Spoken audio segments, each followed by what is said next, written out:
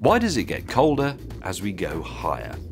If you're on a flight and you're not watching the film, and you're not trying to sleep in a seat that reclines by 4 degrees, and you're not trying to eat a meal without moving your elbows, then you might find yourself looking at that rather annoying Your Journey display. It might tell you something like you're 850 kilometers from your destination, where it's 0420 in the morning, you're flying at 35,000 feet, and the outside air temperature is minus 55 degrees Celsius. But why is it so cold? I mean, never mind that you're 35,000 feet closer to the sun. Isn't hot air supposed to rise? The answer lies in what meteorologists call the lapse rate. Let's start with the basics. As you go higher, the air pressure falls because there's less of the atmosphere pressing down on top of it. Now, we've already covered this in far more detail than I'm going to here in our question, where does the atmosphere end? So click onto that and have a look. And while you're at it, subscribe.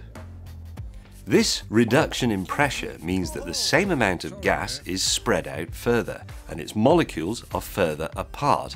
And that means, according to the basic laws of thermodynamics, which we can't change, that the temperature must go down. But the atmosphere is heated from below as well as by the sun from above. In fact, it receives more energy from heat that is passed up from the earth below it than it does from the sun passing through it from above. And if you stand on a strip of black tarmac on a very sunny day, you will feel through your shoes just how much heat is being sent to the atmosphere from the earth. When the ground starts to heat up, it gives off infrared radiation, which the atmosphere can absorb. So it is warmer closer to the ground. And yes, the hot air does rise. But let's not forget, as we said earlier, as it rises, it expands. So it must cool down. And how quickly it cools with the increase in altitude is the lapse rate. The exact lapse rate will depend on whether the air is dry or humid, but as a rough guide, from sea level to 35,000 feet, roughly 11,000 meters, the air temperature will drop by 1 degree Celsius for every 150 meters increase in altitude. If you are a pilot, you think of that simply as 2 degrees per thousand feet.